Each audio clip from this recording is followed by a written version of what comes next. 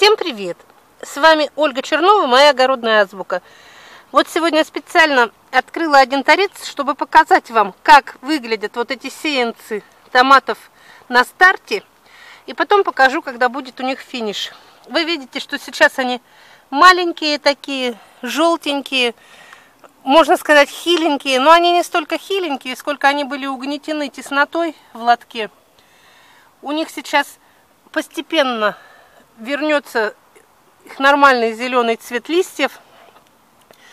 И вот через полмесяца примерно, ну недели через две, через три, я их открою.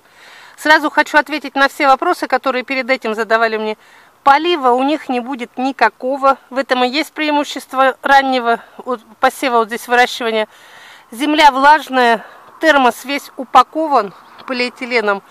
Влага никуда не девается, она вся здесь. Один раз полили при посадке и все. Вот сейчас вся эта братва, вот много-много, видите, она такая как желто-зеленая.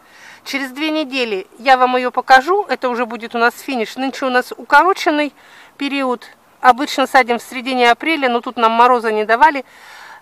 Когда я открою через две недели, будет, конечно, зеленый цвет. Но это вы все сами увидите, я не буду голословно говорить. Вот здесь у меня 1944 или 36, забыла, записала. 1000 демидовых и 900 петруши. Два разных сорта. Вот там палочки, где стоят, это рубеж. Вот эти два сорта, они толстоногие. Видите, они даже в таком, в плохих условиях выращивались в темноте. Все равно у них толстый ствол. Из-за чего выбираю только эти сорта? Вы видите, что рассада не упала ни одна.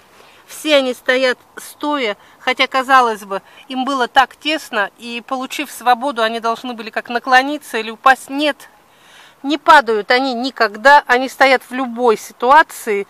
Даже если когда будут подмерзать, замерзать, они все равно замерзнут стоя вот этот вот толстый стволик, он у них очень такой толстый, объемный, плотный. Все, я вам показала, как выглядит рассада в самых-самых-самых первых днях после высадки. Выглядит она, можно сказать, никак. Она желтая, тонкая, бледная.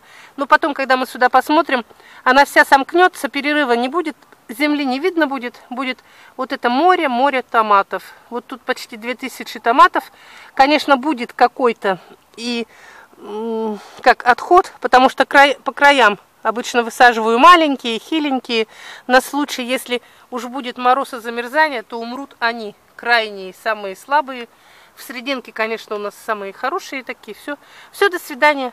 Вот это старт наш для выра... при выращивании в тоннелях. Нынче немножко опоздали, но все равно они успеют вырасти.